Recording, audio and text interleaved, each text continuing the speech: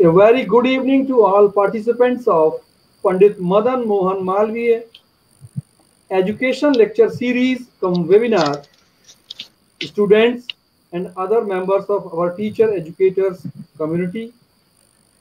ये महामना मालवीय शिक्षा व्याख्यान माला मूलतः मालवीय जी जो हमारे भारत रत्न हैं उनके विचारों से उनके कार्यों से प्रेरणा लेकर के हमने शुरू की है मालवीय जी को आप सभी जानते हैं, वो उनके, उनका बहुआयामी व्यक्तित्व हम सबके समक्ष रहा है, आपने पढ़ा होगा।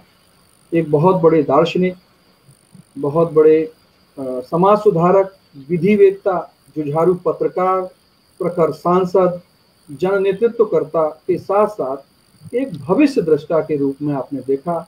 और उनको अगर हम कहें कि आधुनिक भारत के निर्माण में जो उनकी भूमिका है वो अतुलनीय है। तो निश्चित रूप से उनकी एक संस्था काशी हिंदू विश्वविद्यालय के परिवार का हिस्सा होने के नाते मेरी छोटी सी ज़िम्मेदारी है कि उनके विचारों को आगे बढ़ाएँ और आप सभी के बीच एक व्याख्यान माला इसमें देश भर के जो हमारे शिक्षा के विद्वान हैं, मूर्धन्य विद्वान हैं, उनके व्याख्यान आप सभी लोगों के साथ लाएँ। हमारा जो परिवार है फेसबुक ग्रुप पर, इस पर लगभग छियासठ हज़ार से अधिक संख्या हो गई है।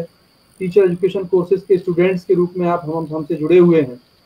और टीचर्स के रूप में आप जुड़े हुए हैं टीचर एजुकेटर्स के रूप में जुड़े हुए हैं। आप विभिन्न संस्थाओं में फैकल्टी मेंबर्स के रूप में काम कर रहे हैं। हमें अच्छा लगता है कि आप जुड़ते हैं और हमें सुझाव देते हैं और हमारे कार्यक्रमों में सक्रिय सहभागिता दिखाते हैं। कल के व्याख्यान में हमने देखा, एक हज़ार से अधिक संख्या में आपने उपस्थित होकर सहभागिता करके हमारे कार्यक्रम की और हमारा उत्साह वर्धन किया। Today is third lecture of our series on N E P two thousand twenty the road ahead our resource person is renowned educationist of our country professor C V Sharma sir former chairperson National Institute of Open Schooling N I O S I welcome you sir at our online platform from core of my heart I also welcome to our co-convener of this session, Dr. Yogesh Kumar, Assistant Professor, Department of Teacher Education, Raja Harpal Singh PG College, Jaunpur, Uttar Pradesh. He is one of our admin team member of our online community. Now I formally introduce Professor C.B. Sarma sir. His thoughts, lectures, actions always motivate us. Uh, Professor Chandra Bhushan Sarma sir is Professor of Education at School of Education, Indira Gandhi National Open University, New Delhi. He served as the chairman of National Institute of Open Schooling during April 2015 to April 2020. During his leadership, the NIOS experienced a complete uh, turnaround with many landmark new initiatives, including introduction of courses in Bharatiya Parampara, leading to award of secondary and senior secondary certificate in Indian knowledge tradition. He has three decades of teaching experience. He is recipient of the President's Award for commendable contribution to digital initiatives during the National Convention on Digital Initiatives for Higher Education on 9th July 2017 at Vigyan Bhavan, New Delhi. He has also been named Paul Harris Fellow in appreciation of tangible and significant assistance given for the furtherance of better understanding and friendly relations among peoples of the world by the Rotary Foundation of Rotary International. He has also been the director of the distance education program of the Sarv Siksha Abhiyan DEP SSA and MHRD IGNU project. Recognizing his talent and contributions, the government of India had assigned the responsibility of training of more than 12 lakh untrained in-service teachers to the NIOS through the Diploma in Elementary Education DLED program and the same was completed in a record time of 18 months. He has been on various national policy framing committees, including the committee constituted by the Government of India to review the National Council for Teacher Education and the committee constituted by the Government of India to draft Distance Education Council of India Bill. Both the committees looked at two very important areas of education, namely distance education and teacher education. He has been on various statutory bodies, Academic Council, Board of Management, Board of Governors, etc. and also the visitors President of India nominee on selection committee of various open and distance learning as well as traditional institutions. He has been nominated by IGNOU as well as invited to national committees on various areas like 11th Plan, Sarv Shiksha Abhiyan, Rashtriya Madhyamik Shiksha अभियान, समग्र शिक्षा, National Mission on Education, information and communication technologies UGC visiting committees NAAC teams, National Council for Teacher Education planning as well as visiting teams DEC UGC T inspection committees etcetera he has written as well as taken part in many national as well as state level educational planning discussions and brainstorming. Brainstorming. He has also been invited to be visiting professor at various universities besides uh, been invited by international agencies like the World Bank for Research Studies. He was a member of the Indian delegation led by the Honorable Human Resource Minister of India to the Commonwealth Ministerial Meet held at Bahamas in May 2015. Professor Sharma was invited by the Universal Basic Education Commission to facilitate in establishment of an open school in Nigeria in July 2018. Under his leadership, the National Institute of Open Schooling bagged the prestigious Commonwealth of Learning Award of Excellence for institutional achievement in distance education in November 2016. The NIUS, under his leadership, has made major contribution towards the education of differently abled, especially the hearing impaired uh, the initiatives for the deaf learners bagged the Call Award of Excellence in Distance Education or online experience in 2019 through one of its deaf learners. Its contributions toward revamping of the Industrial Training Institutes, ITIs, and bringing the certificate at par with secondary and senior secondary was also highly appreciated he is the chief trustee of the Shanti Upendra Foundation for Development Initiatives, SUFDI, which works in the area of education. तो बहुत सारे विद्यार्थी हैं जो हमारे कार्यक्रमों से अभी जुड़े हैं। उन्होंने जस्ट अभी एडमिशन ही लिया है। उनके सामने ये आ, सर का एक परिचय रखना बहुत ही आवश्यकता है क्योंकि हम सभी को सर का जो भी एक अचीवमेंट्स हैं जो सर का जो कार्य है वो मोटिवेट करता है।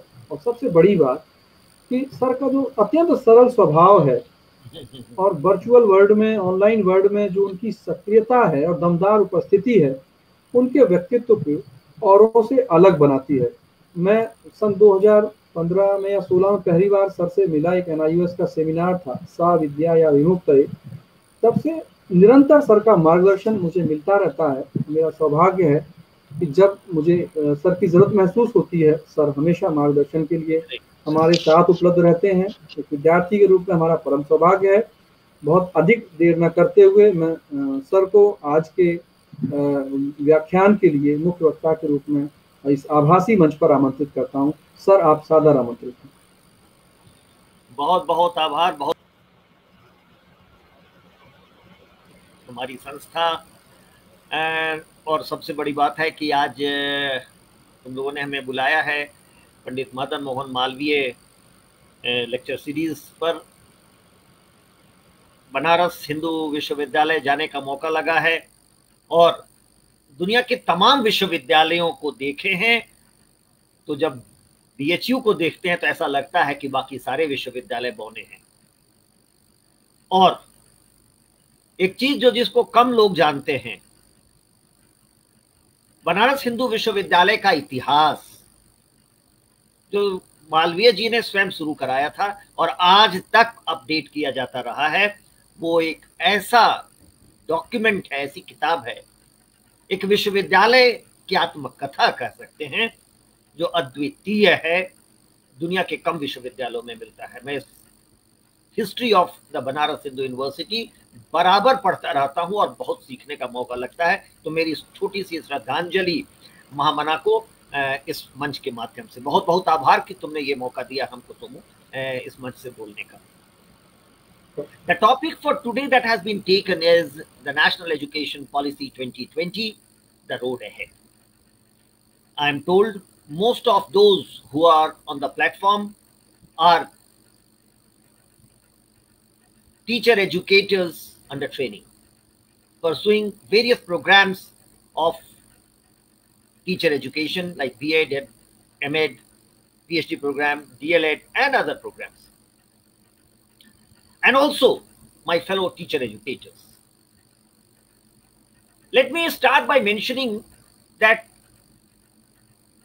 I have been part of the process of the making of NEP 2020 since 2015. I was appointed the chairman of the National Institute of Open Schooling in 2015 and almost the same time the work on NEP started. And as chairman of the NIOS, I was in, intrinsically, extensively involved, especially in the school education sector.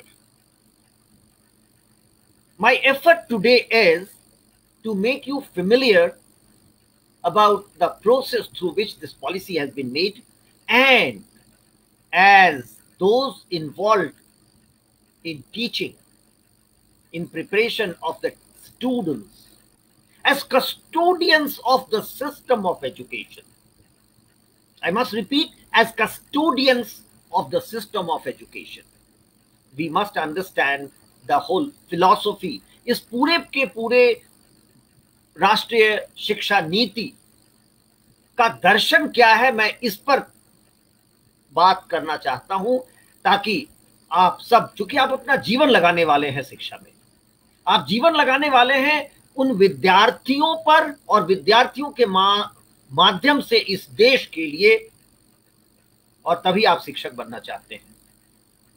तो इस राष्ट्रीय शिक्षा नीति के पीछे का दर्शन क्या है मैं उसको उजागर करने का की कोशिश करूँगा और ये बताऊँगा कि आपका दायित्व अगले 10, 15, 20 सालों तक क्या होने वाला है।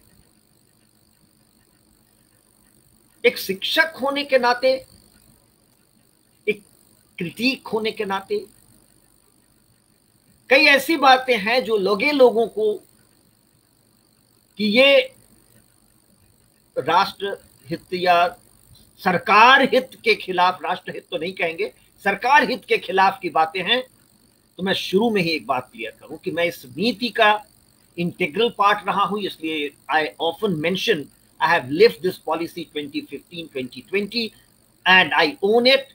And second comment, which a teacher should not normally be making, but I'll make I'm a great Modi fan.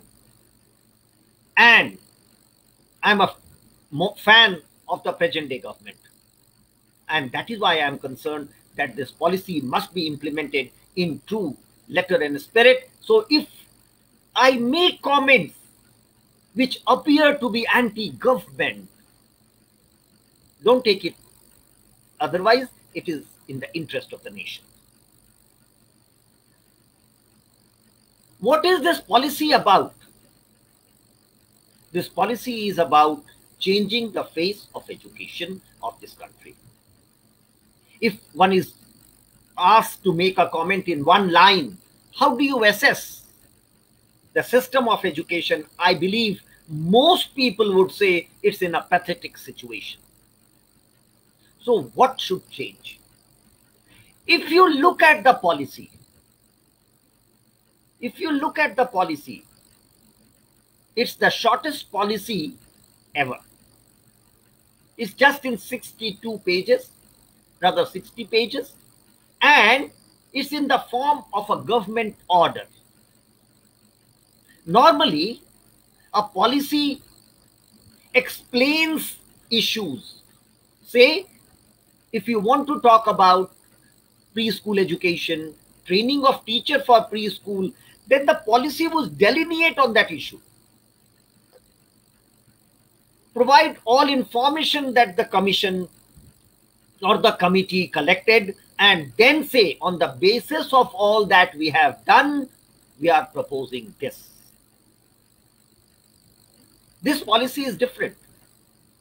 This policy resembles more or less like the Macaulay's minutes rather than the Kothari Commission report. Kothari Commission was a report, this is a policy. So, this policy, if I say it's a Modi policy on education, it won't be an exaggeration. Why am I saying that? Our Honorable Prime Minister doesn't believe in ornamental documents. So he was very particular that let me know what are the problems. What is to be changed? Who will do that change? How much time will be required to make that change and how much money, finance will be required. So if you look at this policy, it takes up point by point various issues only in school education and higher education. Normally, a policy document on education of a country will take up medical education, engineering education, non-formal education, blah, blah, blah. But this policy takes only two sectors and that is school education and higher education. But, but if you read the policy through, you will find the teacher is at the center. This policy all through talks that the teacher has been marginalized in this country and teacher has to be center stage. I must compliment the two ministers, Smriti Irani and Prakash Javadekar, who were both, who were both very particular that teacher must be center stage it was not, not natural, normal for uh, Prakash Javadekar ji because he was son of a teacher. His mother was a primary school teacher and he used to narrate how his mother used to work. And Smriti Irani ji, who unfortunately could not have higher education herself, so she was very, very concerned what should be the plight of those children. How can we change the future of those children who are out of school, who have been pushed out, who have been thrown out, who are poor and who have to work to earn, and that is why they are not in schools. So, agenda number one for all my students devote some time, do action research on those children who are out of school, read the policy, see what the policy says, and write, report on what is going on. If the policy says X, and still if the children are out of school, why? Look at the first three chapters the road ahead. You will find the first three chapters are about those children who are out of school. Why are they out of school? In 2015, the Central Advisory Board on Education, I'm sure you would know about the importance of CABE. It's the apex body in uh, education, the decision-making body, the policy-making body chaired by the Honorable Minister for Education, Government of India, and all the ministers of all the states are members of this and it is mandatory to have one meeting of CABE every year at least. In 2015, so agenda 2, do some research on CABE, find out what is CABE, be vigilant. It's a very, very powerful body and it should, should not be tampered with. There is very little bureaucratic interference that is why I'm, I'm uh, making you conscious of the fact that be careful that CABE is a very important body. It it was created, uh, I think, 1931 uh, or something, not 1913, 31, around that time. It, it has been there since then, and meeting of this body has taken place almost every year except during the period Murli Manohar Joshi ji was the um, education minister. For perhaps those five years, we did not have a meeting of the CABE and some other years initially it was uh, stopped for a few years because there was paucity of uh, funds uh, during the war, I believe, and th- during that period there was no cave meeting. But otherwise, cave meeting has taken place everywhere. Be very vigilant. It's a very powerful body, a decision-making body, which must be preserved. So, cave had a subcommittee on in 2015 to look at out of school children. Why are they out of school children? The official records told us, I was a member of that committee. The official records told us there were about 60 lakh students out of school. Unofficial records said there were about 2 crore children out of school. जो बच्चे विद्यालय से बाहर थे जो विद्यालय नहीं जा रहे थे डिस्ट्रिक्ट प्राइमरी एजुकेशन प्रोग्राम जिसके लिए कि करोड़ों करोड़ रुपया वर्ल्ड बैंक से लिया गया था और आभार व्यक्त करता हूँ मुरली मनोहर जोशी जी का, जो एक शिक्षक मंत्री होने के नाते सबसे पहले कहे थे, ये भार देश नहीं ले पाएगा, हम नहीं चलाएँगे डीपीईपी आगे, हम अपनी पैसे से चलाएँगे। और तब सब शिक्षा अभियान आया था। हमने कई देशों को बैंक होते देखा है वर्ल्ड बैंक के लोग से। और यही कारण था कि मुरली मनोहर जोशी जी ने कहा था कि हम DPEP District Primary Education Programme को आगे नहीं चलाएँगे, हम अपना कार्यक्रम सर्व शिक्षा अभियान लेके आएँगे। दोनों कारण थे, एक विदेशी पैसा और दूसरा हमारा करिकुलम तो ये कमिटी जो थी 2015 की आउट ऑफ़ स्कूल चिल्ड्रन पर बनी थी, उसने ये देखा कि लगभग लगभग दो करोड़ बच्चे विद्यालय से बाहर हैं, तब हम लोग ये जानना चाहे कि ये बच्चे जो बाहर हैं, वो बाहर हैं क्यों? The most important reason for children who were out of school was that they did not get education, the primary education, the first few years of education in their mother tongue. Friends, you would understand the importance of mother tongue in the pre primary stage. What is that we are transacting? And why do we need a major language of the region, that is one of the languages of the eighth schedule, to be the medium of instruction. Let me take the example of a child who is a tribal child and speaks Santhali or Mundari and comes to school. The first day he is introduced in Hindi, which is not his or her language. And then, week after week, if the child is sitting and not able to understand anything, and what are we transacting? Don't forget, we are only transacting word for symbols. Primarily, we are introducing that child to the process of schooling. उसको घर के वातावरण से निकाल करके विद्यालय के वातावरण में लाने का प्रयास जो छह साल घर में बिताने के बाद है कर रहे हैं और वो बच्चा कुछ सीख नहीं रहा है वो केवल ये जान रहा है कि मुझे स्कूल जाना है क्योंकि माता पिताजी यहाँ पहुँचा गए हैं और मुझे यहीं बैठना है लेकिन जब महीनों तक वो कुछ नहीं सीखता है, ना समझता है तो वो भी कहता है कि मुझे मन नहीं लगता है। और माता पिता भी कहते हैं कि अगर कुछ सीख नहीं रहे हो तो क्यों जा रहे हो school? And that is the reason that these children drop out of school unfortunately in spite of the three language formula that this country had the children were not provided education in their mother tongue this policy makes a major departure it says we will provide lower primary education in mother tongue. देखिए आप कई बार चर्चा सुनेंगे कि भाषा का विरोध हो रहा है क्योंकि हम लोगों ने भाषा नीति को ठीक से लागू ही नहीं किया the whole purpose of three language formula was that every child must be provided pre-primary or preschool education in the mother tongue and nobody will really oppose that is why when we had the draft report of uh, kasturi rangan released on 30th may 2019 there was i mean all the South Indian states started speaking against it. But when the final policy came on 29 July 2020, there was absolutely no opposition. Why? Because all the mother tongues were accepted as medium of instruction in the lower primary. And second very important thing was that why do children drop at six at class one at the age of six? Because they are grown up enough. Their language faculty has already developed they have mastered a language. By the age of six, our vocabulary is about 7,000 words. We can express ourselves in the language that we have been practicing since our birth.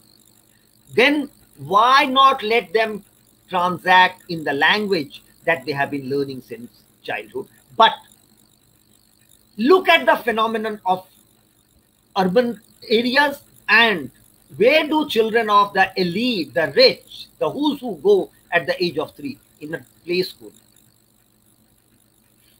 If you look at the families of rich people, their children go to a play school, the creche, where they learn something from the age of two and a half to three to six years when they transfer to a school. What about those children who come from poor families, who are first generation learners? This policy makes a departure, a great departure, I must say. And again, I will acknowledge this is a clear impact of the Honorable Minister, the then Minister Smriti Irani. She was very particular that the, the treatment that you give to the rich, the elite, the who's who must be given to the poor as well.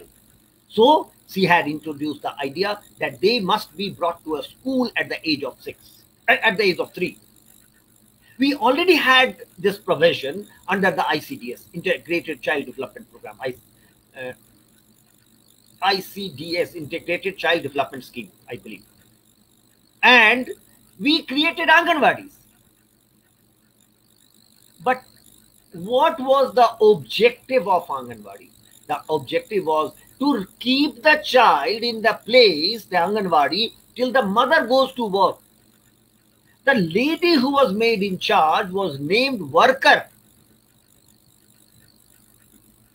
The whole game is of semantics. They were workers, so they worked. They did not teach, learn. This policy says the Anganwadis would be transformed into a teaching learning center and these workers will be retrained to transact pedagogic activities. They would be trained how to inculcate or develop learning of certain things, the language and other other other other areas, other faculties. What what are those other faculties? I must quickly mention. We have also side by side taken up that our toys from various part of India must be brought in the Anganwadis with which these children should play and then ask questions. ये ये खिलौना ऐसा क्यों करता है इसको जब किसी चीज़ पर टिकाते हैं तो ये गिरता क्यों नहीं है ये घूमता रहता है हिलता रहता है लेकिन गिरता नहीं है क्यों नहीं घूम गिरता है वो अपने टीचर से पूछेगा आंगनवाड़ी के अपने दीदी से पूछेगा, वो बताएगी कि ये कैसे होता है, क्या होता है। तो तीन साल से ये बच्चा बिना किसी ताम झाम के कई सारे कॉम्प्लेक्स कॉन्सेप्ट को सीख जाएगा। ये काम होगा आंगनवाड़ी का। हम लोगों ने जो आंगनवाड़ी बनाया था, वो बच्चों को केवल रखने के लिए एक सामान जैसा अब ये सेंटर्स टीचिंग लर्निंग सेंटर्स की तरफ़ बदलेंगे। तो तीन चीज़ें आप ध्यान रखिए कि ये पॉलिसी कह रही है। पहला, कि मातृभाषा में शिक्षा, चाहे उसकी मातृभाषा कोई ऐसी भाषा है जिसको कि कम लोग बोलते हैं, फिर भी उसको जो शिक्षा दी जाएगी आंगनवाड़ी में, वो उसकी मातृभाषा होगी। दूसरी बड़ी बात है कि तीन साल के बच्चों को लाया जाएगा और तीन साल से वो भी वही ट्रीटमेंट पाएँगे जो शहरों में, जो अमीर परिवारों के बच्चे को मिलता है और हम आंगनवाड़ी को एक अच्छा सेंटर बनाएँगे। तीसरी जो बड़ी बात कही गई कि ये जो शिक्षिका है वहाँ, जिनको अभी हम वर्कर कहते हैं, उनको शिक्षिका कहेंगे, दीदी कहेंगे और उनको हम ट्रेन करेंगे ताकि वो ये काम कर सके। तेरह लाख आंगनवाड़ी सेंटर्स हैं जिनका कि हम ट्रांसफॉर्मेशन करेंगे। तो ये काम एनसीआरटी करेगी, जिसको कि करिकुलम बनाना है और जैसा अभी बताया गया कि National Institute of Open School ने लगभग लगभग तेरह लाख शिक्षकों का इन सर्विस टीचर का प्रशिक्षण किया था, सत्रह उन्नीस में। आभार प्रकाश जावड़ेकर जी का। उनकी बड़ी सोच थी। उन्होंने कहा कि ये ये शिक्षक पढ़ाएँगे कैसे अगर ये शिक्षित नहीं है? ये स्वयं प्रशिक्षित नहीं है तो।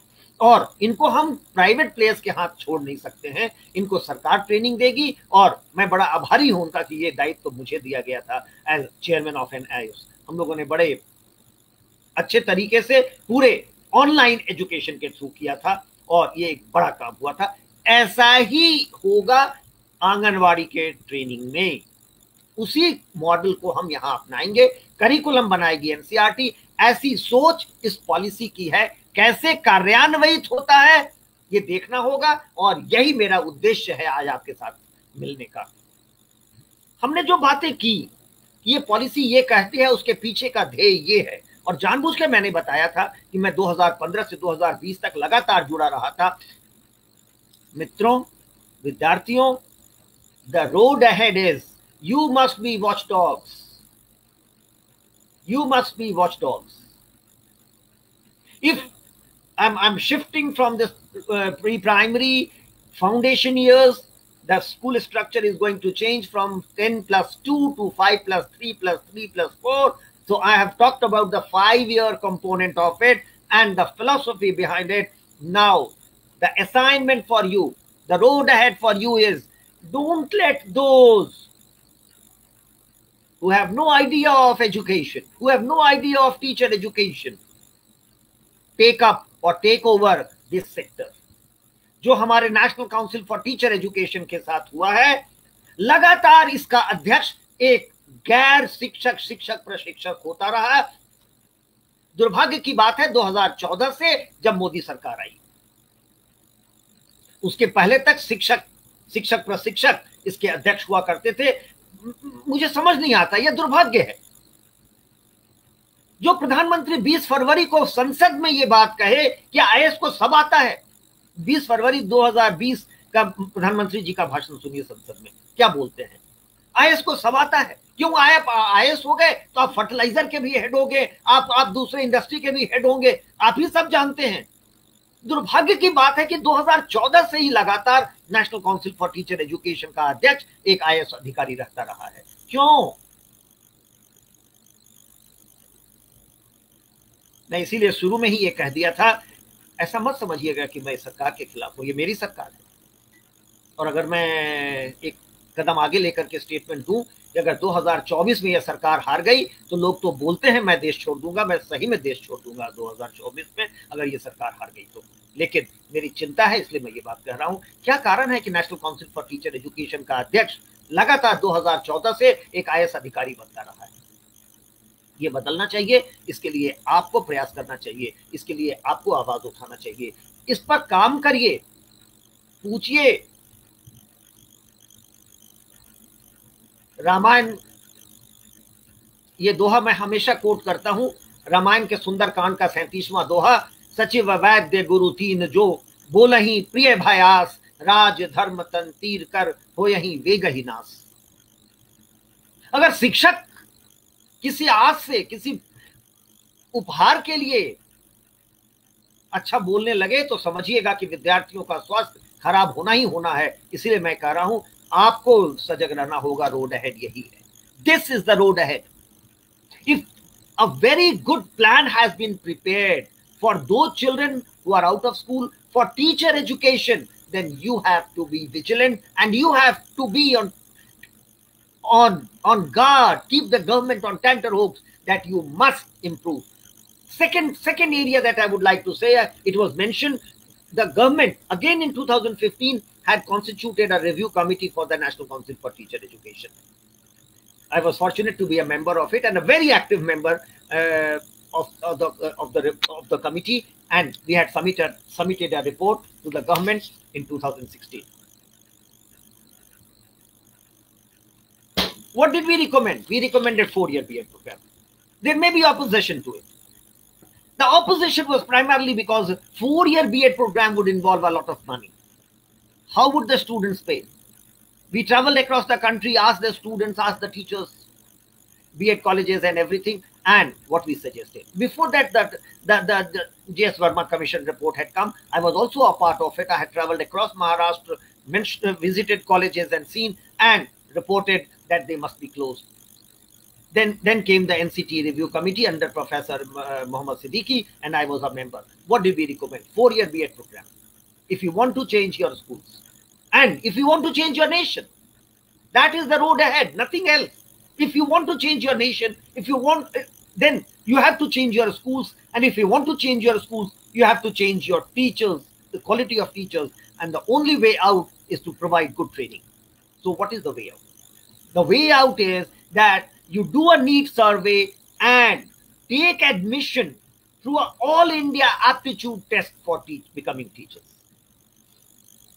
A major criticism from all corners is that those who do not get any employment have the fourth choice as becoming a teacher and they come and do B.Ed. We suggested take students after plus two, decide on the number of teachers you will require after four years, and that that number should be given a scholarship. This policy says that.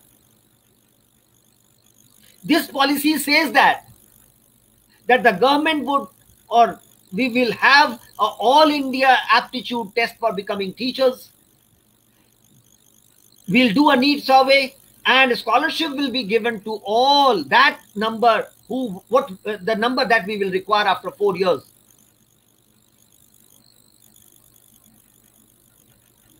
And I believe the fourth section, go to the fourth section of your policy.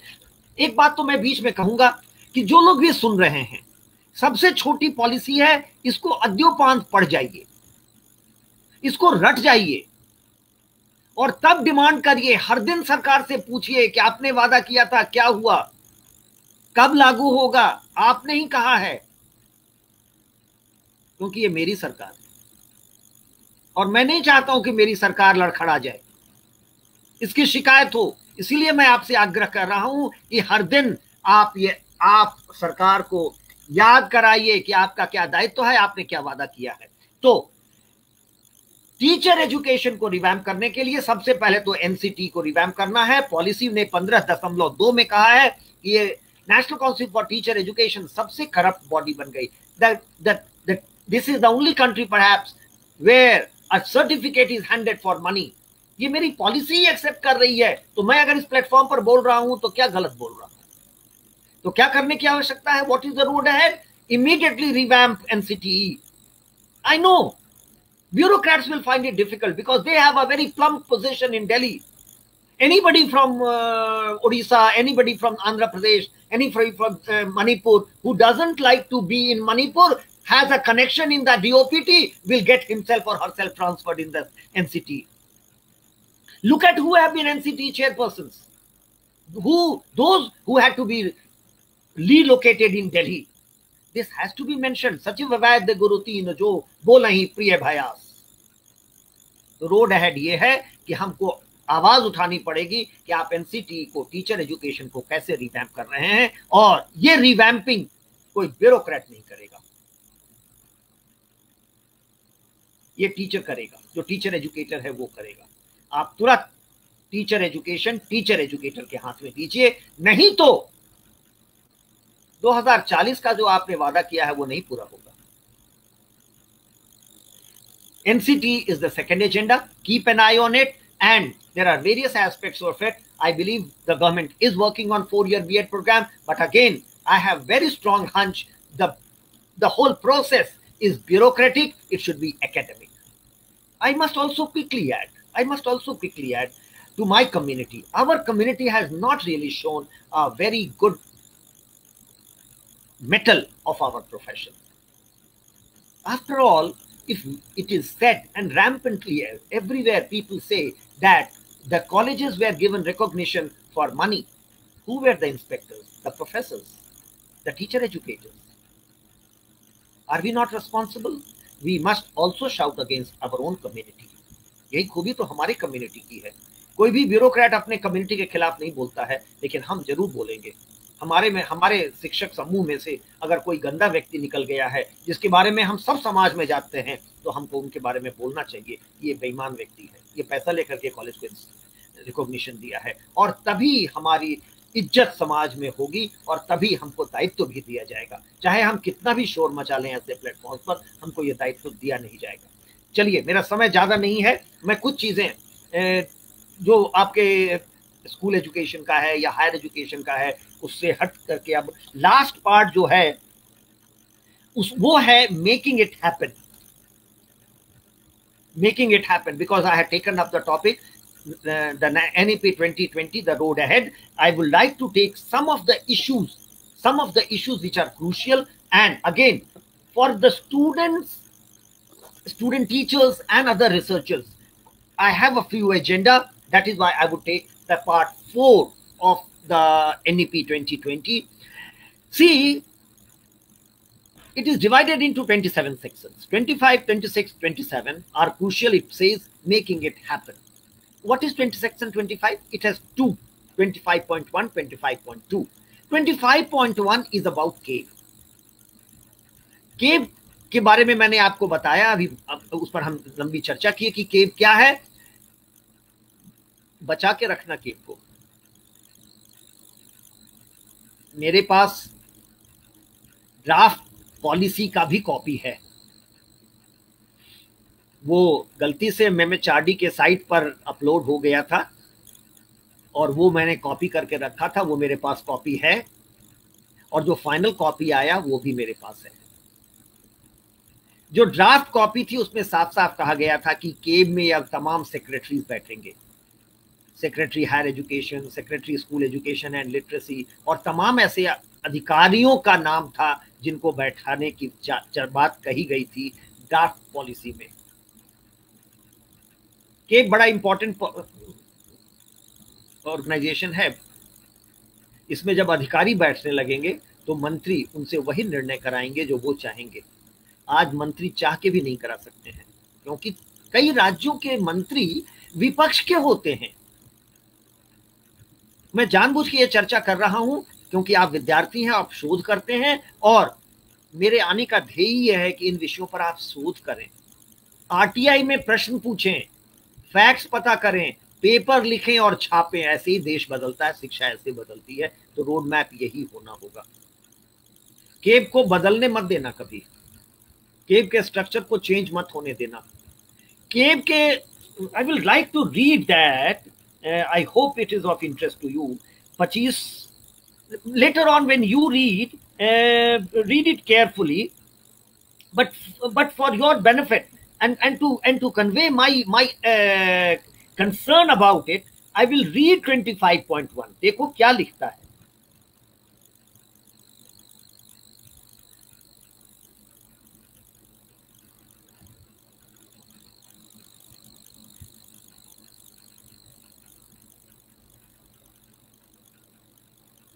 Huh. The, the section 25.1 says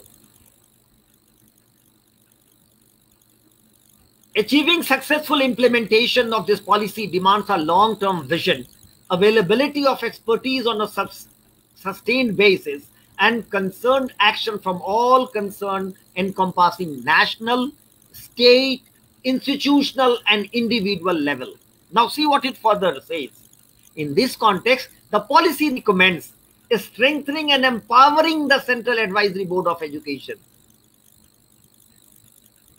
बात समझ में आ रही है suggest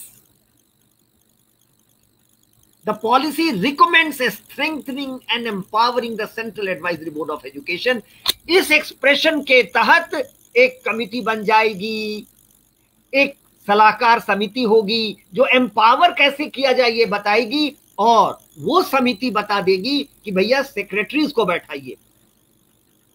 और जो retired secretaries हैं, उनको बैठाइए। एक बड़ा अच्छा बिल आया था। अर्जुन सिंह जी मंत्री थे National Commission for Higher Education and Research NCHER ये बिल का कॉपी अगर मिले तो ज़रूर पढ़ो। मैं ऐसा मान के संबोधित कर रहा हूँ कि मेरे विद्यार्थी हैं बी एड एम एड के डीएलएड के तो मैं ये लिबर्टी ले रहा हूँ कि तुमको तुम कह के एड्रेस करूँ। जरा एनसीएचईआर का जो बिल था, उसको पढ़ो। क्या करने की कोशिश कर रही थी सरकार? कांग्रेस की सरकार थी। और जब हम शिक्षाविद एनालिसिस करते हैं तो हम इन पार्टी पॉलिटिक्स से ऊपर उठ करके एनालिसिस करते हैं कि कांग्रेस की सरकार क्या पॉलिसी लाने वाली थी। इस पूरे यूजीसी को एनसीआर बना करके उसका हेड एक retired Chief Justice of India को बनाना चाहती थी। इस देश में एक भी शिक्षक नहीं बचा है। जो शिक्षा को बचाए, जो शिक्षा को दिशा दे सके, फिर डीपी सिंह और वेद प्रकाश जी की ज़रूरत नहीं रह जाएगी इस देश को।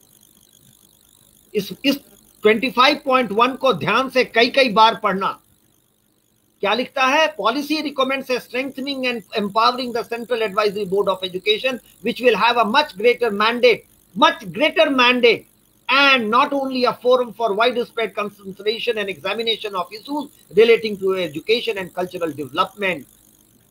इसके बहाने केब को रिवैम्प करो और अधिकारियों को बैठा लो हम कहते तो ये हैं कि क्या आय सब जानता है? लेकिन उनको बैठाने का हर प्रयास करते हैं और कैसी सरकारें हैं कि आय की बुद्धि से आगे नहीं निकल पाती। So in the fourth section that is making it happen the first is revamping of cape. I have read the draft, i have a copy of draft, and i can read the intention behind recommending recommends a strengthening and empowering CB, uh, C, CABE. Don't let it happen. The second 25.2 has already taken place. We had we had definitely uh, demanded that the name Ministry of Human Resource Development be changed to Ministry of Education. That has taken place. I think this will have a great psychological impact on the learners, the students of this country, and it is a good development. But another major major uh, area is of financing of education. And this is a topic of research again. हमको पैसे की कमी है क्या? हम कह रहे हैं कि छह प्रतिशत खर्च करेंगे। चार दशमलव चार छह चार तीन प्रतिशत खर्च कर रहे हैं ऐसे पॉलिसी कह रही है और कह रही है छह प्रतिशत तक होना चाहिए। हम लगातार कोठारी कमीशन और उसके बाद कहते रहे हैं कि छह प्रतिशत जीडीपी का शिक्षा में खर्च होना चाहिए। बड़ी अच्छी एक रिपोर्ट आई है, हाल में हमने पढ़ा है कि कहा गया कि 10 लाख शिक्षकों की कमी है, उनका अपॉइंटमेंट होना चाहिए। उस स्टडी ने बड़े बढ़िया से ये स्टडी करके बता दिया कि आपके पास ढाई बीस लाख टीचर या ढाई लाख टीचर फॉरगेटिंग बट आपके पास टीचर सरप्लस है। आपके विद्यालयों की संख्या गिरती जा रही है क्योंकि वहाँ पढ़ने वाला कोई नहीं है। सरकारी विद्यालयों को छोड़ छोड़ के बच्चे प्राइवेट में जा रहे हैं और आप नियुक्ति करने की बात कर रहे हैं। एक एक विद्यालय सी सीएजी का रिपोर्ट है।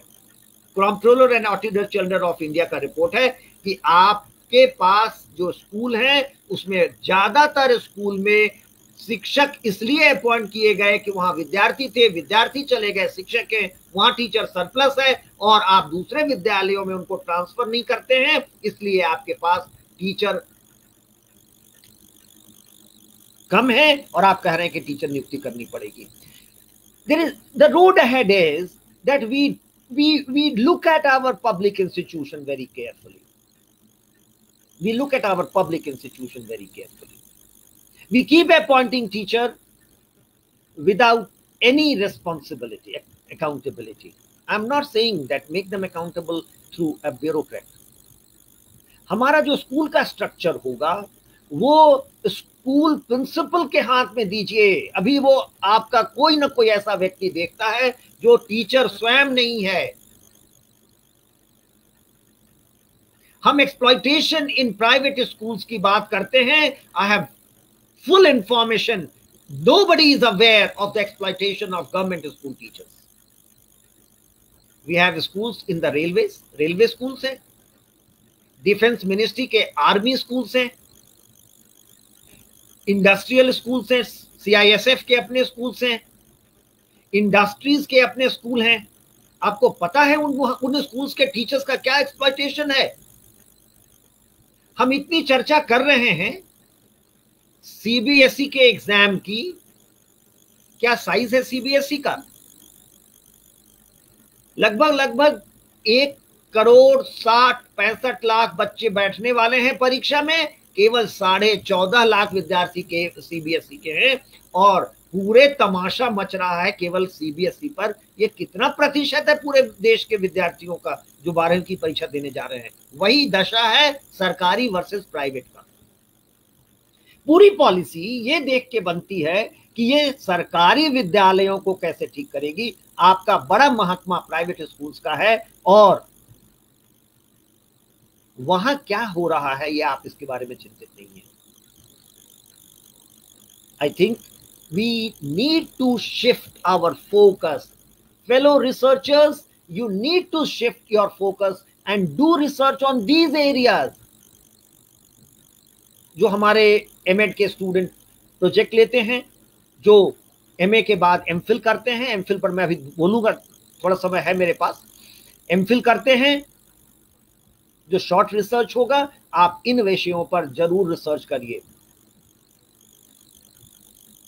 रिसर्च की दशा स्कूल सेक्टर पर कहने को बहुत कुछ है, लेकिन सोमू जी ने समय ही कम दिया है तो और मैं बड़ा दुखी हो रहा हूँ देख करके कि क्यों नहीं चीज़ें बदल रही हैं। 29 जुलाई 2020 को आया था पॉलिसी। नेचुरल करोलरी है कि नेशनल करिकुलम फ्रेमवर्क आएगा। आज हम 10 महीने पूरा कर रहे हैं, एनसीएफ की कमिटी नहीं बनी है। क्या हम एनसीएफ लाएँगे, जो कि एक एक्सपर्ट कमिटी बनाएगी या सरकारी अफसर फिर बनाएँगे NCF? We must raise voice there must be an expert committee for developing National Curriculum Framework the 2000 uh, curriculum was behaviorist, the 2005 was um, constructivist, and this policy says it will be nationalist. Then who is going to decide what will be the component that will make this this the, the, the, the school education nationalist in coming months? Those who are who have no training in doing this, or would there be an expert committee like we had in 2005? We must we have been acknowledging the great work done in the 2005 curriculum framework. Although we agree with the ideological standpoint, but we definitely accept that it was a very good work done and very extensive work done. Are we going to come up with a similar national curriculum framework? Must raise this question. That has to be the road ahead. And then, if we are going to have a national curriculum framework 2020 or 2021, who are going to make it? And then, one on, on the basis of that, who are going to write the textbooks?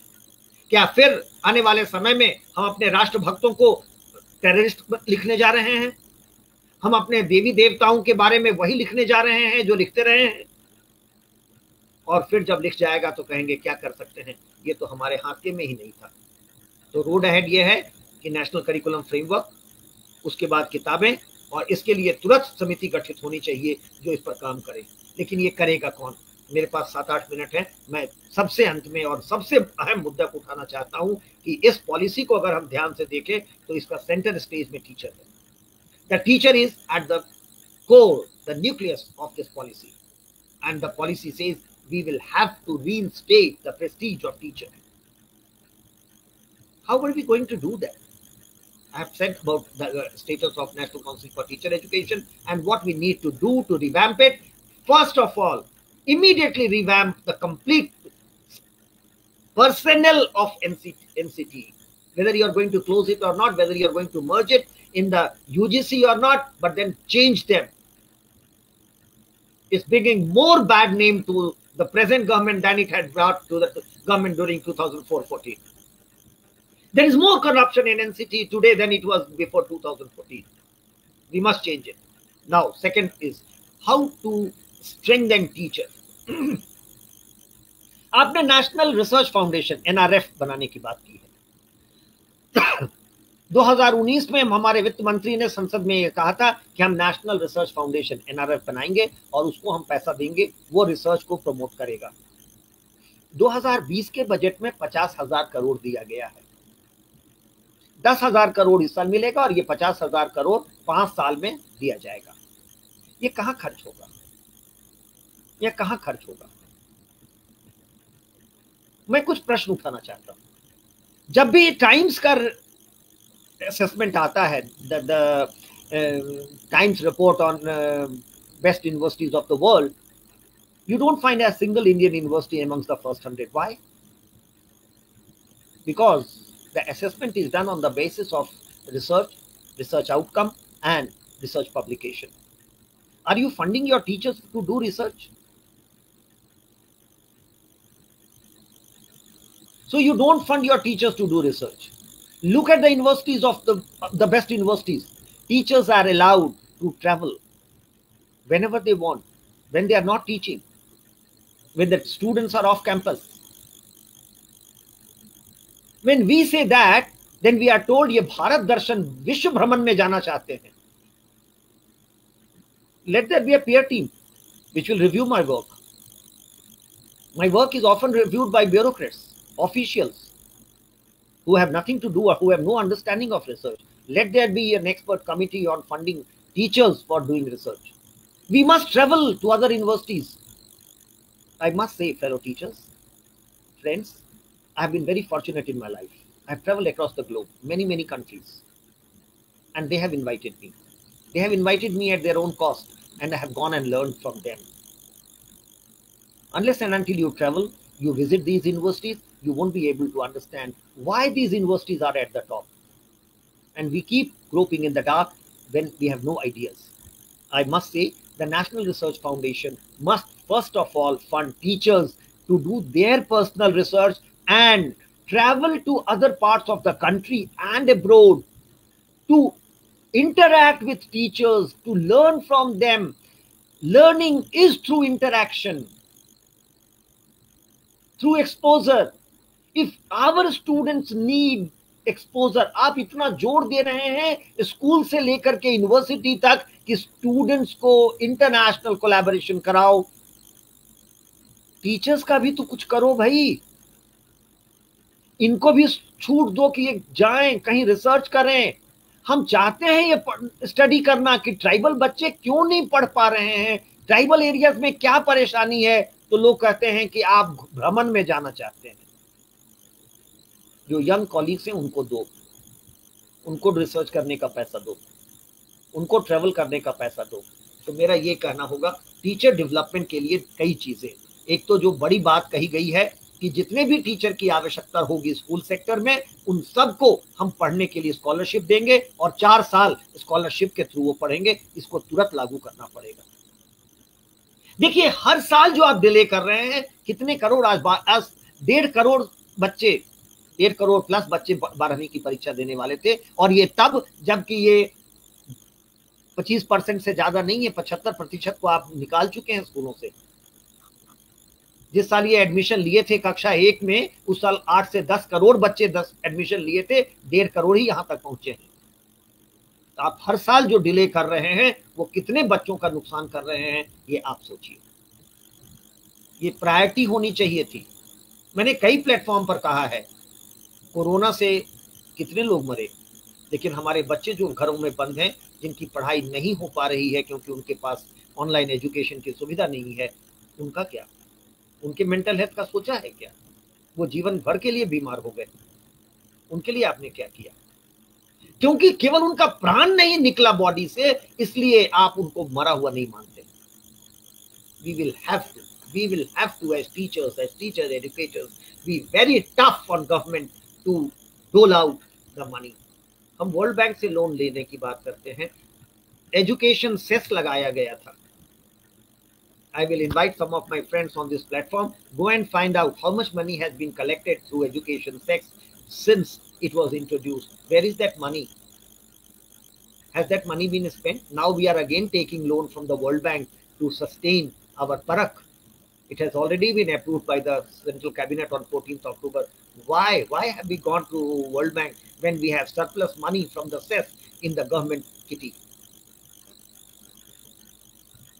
To sum up, I will say it's a great policy. Great things have been said. Very good that it is not as bulky as the Kothari Commission, or we have not accepted all that was said by the Kasturi Rangan or the Subramanian Committee We have only taken those which are crucial for the nation, and that is Modi, brand Modi. He doesn't believe in saying so many things and not fulfilling them. Congratulations compliments to our Honorable Prime Minister for giving us this very crisp policy, but implement it. Don't leave it in the hands of those who have vested interest. हमारा vested interest नहीं है हम शिक्षक इसलिए बने हैं क्योंकि हम देश की सेवा करना चाहते हैं ये देश मेरा है। और हम इसलिए अपना समय खराब करके दिन, रात जब भी मेरा विद्यार्थी आता है, पढ़ाते हैं, उसके उसके प्रश्नों का उत्तर देते हैं, उसकी किताब, उसका लिखा हुआ पढ़ते हैं, उसके आंसर पढ़ते हैं, उसको हम समझाते हैं, क्योंकि हमारी चिंता मेरा देश है। ये अकेला प्रोफेशन है, जो देश के लिए ही काम करता है केवल, और देश बच्चों के माध्यम से। तो मेरा ये कहना होगा कि हम जब बात करते हैं कि ये होना चाहिए, इसलिए नहीं कि हम अपने लिए कुछ मांग रहे हैं। हम इसलिए ऐसी बात करते हैं क्योंकि हमें देश की चिंता है और हम देश के लिए बात कर रहे हैं। The national education policy 2020 is a great document it's a crisp document it doesn't talk of very great things it talks like an office order but then let all be vigilant that these are all fulfilled and accomplished nobody nobody will be able to do it unless and until you are awake you keep asking the question. Keep the government on tenterhooks. I think I must again repeat we have got a prime minister who is rare. You won't have a Modi again in the next hundred years. But then he needs to be told again and again, we need this. Don't leave it to those who are not academics, who don't understand education. The road ahead is hand over education to educationists.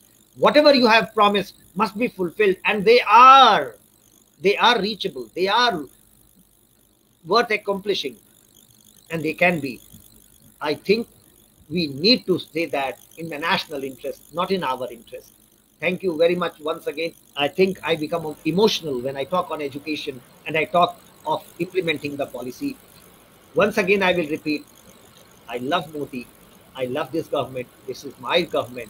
But I need to tell my government if you are not on the right path. Thank you very much, Somu, for this opportunity. And sorry if I have been too emotional and too harsh on commenting on the policy and the road ahead. Thank you. Thank you very much sir बहुत बेबाकी के साथ एक बेहतरीन चर्चा मैं अभी sir कुछ स्टूडेंट्स के कमेंट पढ़ रहा था understood the new dimensions of an E P too Lata Kumari ने लिखा it is so empowering to understand policy ये निधि मिश्रा ने लिखा। तो कहीं ना कहीं जो हमारे स्टूडेंट्स हैं सर, उनके लिए एक बहुत बेहतरीन चर्चा है। सर, आपका जो आवाहन है कि इस पूरे डॉक्यूमेंट को पढ़ें, इस पर शोध करें, चर्चा करें, जहाँ शंका है, आरटीआई मांगें और सरकार को लिखें, कैब को बचाएँ। ये बहुत ज़रूरी चीज़ें हैं। एनसीटी को टीचर एजुकेटर्स के हाथों में दें। तो हमारे सारे विद्यार्थी चूँकि बहुत बड़ी संख्या में देश में हैं, आपका सोचना, आपका शोध करना, आपका लिखना बहुत ही महत्वपूर्ण है। तो इस दिशा में आज का ये व्याख्यान बहुत ही आई ओपनर रहा है। हमारी एक बहुत बड़ी जो स्टूडेंट्स की कम्युनिटी है, जो इस कार्यक्रम को देख रही है, या इस वीडियो को बाद में देखेगी लाइव में नहीं जुड़ पाई है, वो लोग भी ज़रूर इस मुद्दों पर विचार करें। बहुत ही बढ़िया तरीके से एक एक पक्ष को कई पक्ष जैसे केप के बारे में आप बहुत लोगों ने पढ़ा नहीं, समझ पाए होंगे सर ने रखा। सर को जब भी मैं सुनता हूँ तो लगता है कि हमेशा चिंतन करते रहते हैं, मनन करते रहते हैं कि इस डॉक्यूमेंट से क्या निकल सकता है, क्या निकलेगा, भविष्य में क्या होना चाहिए। साथ में ये भी चिंता कि इतने दिन आए हो गए, आखिर एनसीएफ बनने की दिशा में आगे कदम क्यों नहीं बढ़ रहा? हमारी सरकार है, हम लिखें, बड़ी संख्या में लिखें और सकारात्मक रूप से लिखें, लोकतांत्रिक रूप से लिखें तो निश्चित रूप से चीज़ें अनुपालन में आएँगी।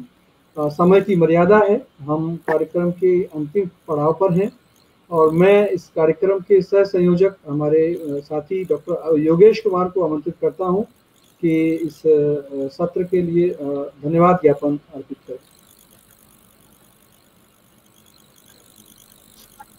धन्यवाद, सर। और शर्मा सर मैं सच में आज आपको पहले मैंने आपके लेक्चर सुने हैं ऑडियो लेक्चर्स और जैसे सर ने बताया था कि आ, मुझे धन्यवाद ज्ञापित करना है तो उसके लिए मैं पहले से भी तैयारी कर रहा था आपको सुन भी रहा था। और वास्तव में सर आप जैसे मतलब जितने आपके लेक्चर्स में जैसे आप पढ़ाते हैं बच्चों को और और जब आप इस तरह के व्याख्यान देते हैं आप बिल्कुल सेम रहते हैं सर। और बीएड में हम लोग पढ़ाते हैं बच्चों को कि एक अफेक्टिव डोमेन होता है इमोशनल कंटेंट जो आपको आपके ऑडियंस के साथ कनेक्ट करता है। And I must say sir you have मतलब मेरी सर इतनी उम्र नहीं है कि मैं आपको इस बात में जज कर सकूँ लेकिन सर आप मतलब मेरे रोंगटे खड़े हो गए सर आपके लेक्चर सुनकर। मतलब इत, इतना इतना इतना इतना अच्छा व्याख्यान और इस इस इमोशनल कनेक्ट के साथ कि हम लोग इतने अंदर से मोटिवेटेड फील कर रहे हैं कि that we are going to uh, write something we are going to research on the topic and agendas that you have covered and uh, we are not only uh, we uh, but rather we are, we will also motivate other people to see the policy from this perspective also and आपने इतने horizon create कर दिए हमारे सामने इतनी चीज़ें हमारे सामने रख दी है सर कि थैंक यू जो शब्द है ये बहुत कम है आपके लिए आप आ, हमारी पूरी टीम की तरफ़ से हम अपना धन्यवाद ज्ञापित करते हैं, सर, कि आपने किस तीन चार मुद्दे तो सर, ऐसे जैसे आपने जो कैब के जो पॉइंट्स के बताए मतलब ये एक एक जो आप आप जैसे एजुकेशनिस्ट ही सरकारी भाषा को इस तरीके से इंटरप्रेट कर सकता है।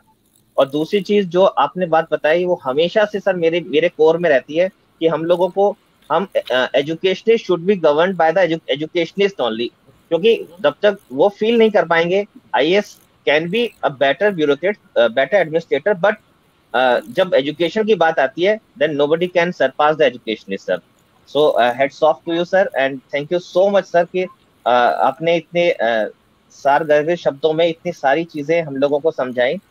और इसी तरह इस मंच की तरफ़ से हमारी पूरी टीम की तरफ़ से आपका हम धन्यवाद ज्ञापित करते हैं। और जितने भी लोग हमारे साथ जुड़े हुए हैं सर बहुत हमारी पूरी टीम है जो कमेंट्स uh, को रीड कर रही है। और उनको भी जवाब दे रही है और सोमू सर और बाकी सब टीम का मैं धन्यवाद ज्ञापित करता हूँ। Thank you so much sir thank you thank you so much my privilege ji sir आप अक्सर हमारे एक आग्रह पर समय निकालते हैं। हमारे लिए बड़ी सम्मान की बात है सौभाग्य की बात है। प्रणाम सर।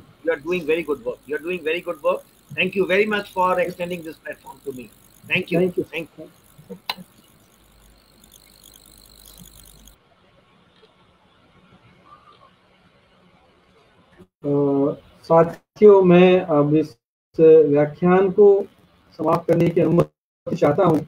जिन लोगों ने हमारे कार्यक्रम से जुड़ने के लिए गूगल फॉर्म भरा है रजिस्ट्रेशन किया है, और वो सर्टिफिकेट प्राप्त करने के इच्छुक हैं कमेंट बॉक्स में फीडबैक फॉर्म के रूप में गूगल फॉर्म आता है, उसकी लिंक आती है। उसको ज़रूर भरें। मैं केवल उन्हीं लोगों से आग्रह कर रहा हूँ, जो लोग सर्टिफिकेट चाहते हैं कि उन्होंने इस कार्यक्रम को सुना और सहभागिता की है। हमारी एडमिन टीम के मेंबर्स हैं जो मुझे सुन रहे हैं और निश्चित रूप से उन्होंने गूगल फॉर्म की लिंक शेयर की होगी आज के इस लाइव सेशन के कमेंट बॉक्स में। आप लोग जुड़े और आगे के लेक्चर्स की सूचना हमारे प्लेटफॉर्म पर आएगी। आप निश्चित रूप से सहभागिता करते रहें और हमें अपने सुझाव अवश्य लिखें। हम अब जल्दी ही एक गूगल फॉर्म देंगे, अपने फेसबुक ग्रुप पर, जिसमें आप किसी भी प्रकार का अपना विचार, सुझाव, टिप्पणी, राय आप हमें लिख सकते हैं, जिससे कि हम अपने इस कम्युनिटी की जो सर्विसेज़ हैं, जो प्रोग्राम्स हैं, जो एक्टिविटीज़ हैं, और इम्प्रूव्ड तरीके से और उन्नत तरीके से आप सभी के सामने ला सकें। आप सभी हमसे जुड़ते हैं, हमारा उत्साहवर्धन करते हैं। आप सभी का बहुत बहुत धन्यवाद। अगले कार्यक्रम में पुनः मिलेंगे, तब तक के लिए